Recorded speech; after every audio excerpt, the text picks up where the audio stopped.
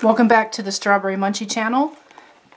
Let's uh, draw a quick candy cane today.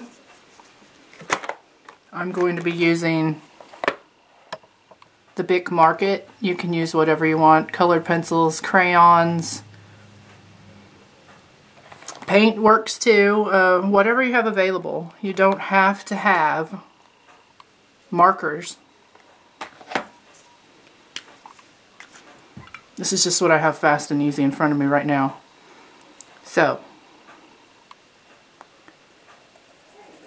I'm going to arch up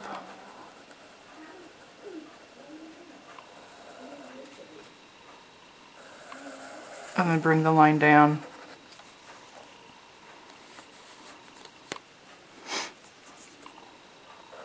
Crossed. I'm going to start back up here. Same shape arch up and down. Since I have red, I want to give this a little bit of a shine, so I'm going to get out. I'm going to put the red up, and I'm going to get out the pink flamingo Bic marker. So pink crayon, pink colored pencil. Let's start making the candy cane lines fill it in.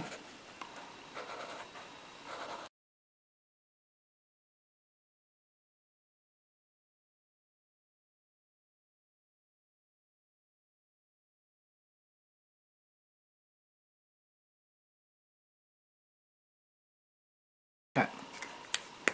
So I have that filled in. Now I'm going to take the red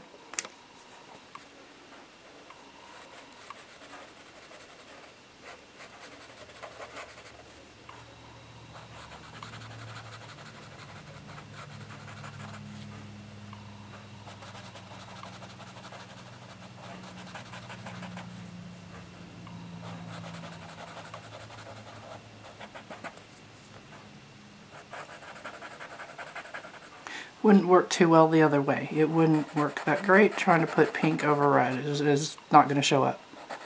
So you think a little bit opposite.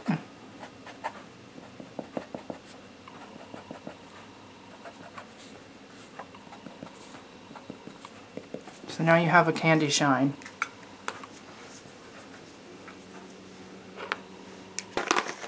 And if you want to kind of play with that shine on the white could do a light gray.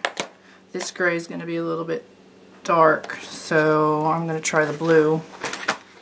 Blue might be too dark to do this too, but let's just see. Uh, that looks okay.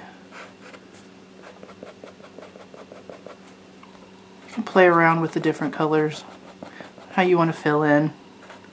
I'm limited, I only have 24. So you work with what you have.